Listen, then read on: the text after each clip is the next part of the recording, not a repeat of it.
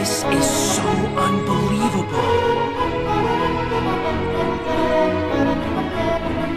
This looks so beautiful. Everything is so great here, isn't it? The sky is gorgeous and everyone's happy.